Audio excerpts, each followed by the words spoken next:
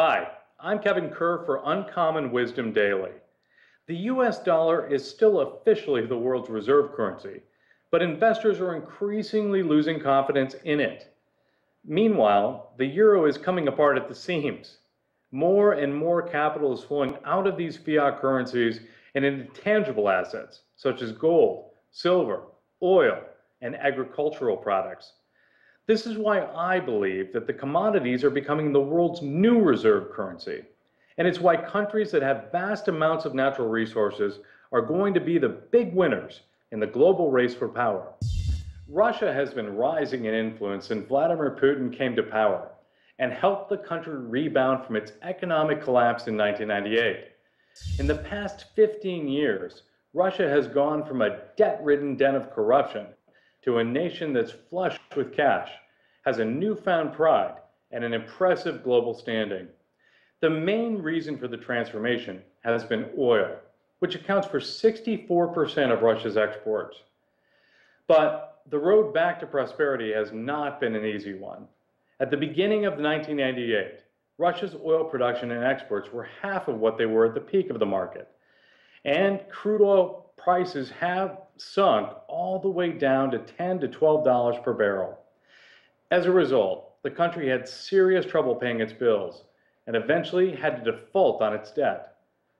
Most of Russia's private banks closed their doors and locked their vaults. Fast forward to 2005, crude oil had shot up to around $70 per barrel. That increase also pulled up Russia's currency, the ruble, along with the country's influence. And as oil prices continue to rise, so does Putin's stature on the global stage.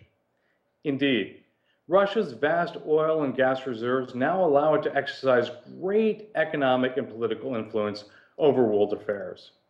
At the same time, the global influence of the United States is dwindling, caused by an expanding trade deficit, increasing dependence on imported fossil fuels, and deepening public debt, and the rapid devaluation of the dollar. Vladimir Putin recently said, quote, the U.S. is living beyond its means and shifting part of the weight of its problems onto the world economy, acting to some extent as a parasite on the global economy and its dollar monopoly position, unquote. Meanwhile, the EU and the euro currency are hanging together by a thread and much of Europe is highly dependent on energy from Russia. In fact, Russia supplies gas to at least 40% of German households. Finland and the Baltic states, including Estonia, here where I live, purchase all of their gas from Russia. The Russians truly have us over a barrel. The country has actually withheld oil and gas supplies to further its political objectives, all the way back in 1990 the then Soviet Union cut off petroleum deliveries to Latvia. The same thing happened to Lithuania in 1999 and in 2006, and to Estonia in 2007. Putin's regime has also halted or reduced the flow of natural gas supplies to Ukraine, Belarus, Georgia, Moldova, and even Bosnia. Russia has the ability to turn off the spigot to Europe too, and it could happen. This is important to you as an investor because it's a potential profit opportunity. The Market Vectors Russia ETF tracks the price of the DAX Global Russia Index, consisting of 48 securities publicly traded in Russia. The RSX allocates approximately 33% of its holdings to oil exploration and production. Another riskier way to play the Russian markets is with currency shares. The Russian Ruble Trust ticker symbol XRU. However, I usually prefer ETFs that don't have a single country focus.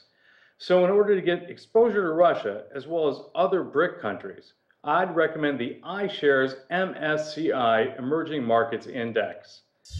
I'm Kevin Kerr for Uncommon Wisdom Daily. Please make sure to tune in every week for more tips on profiting from natural resources.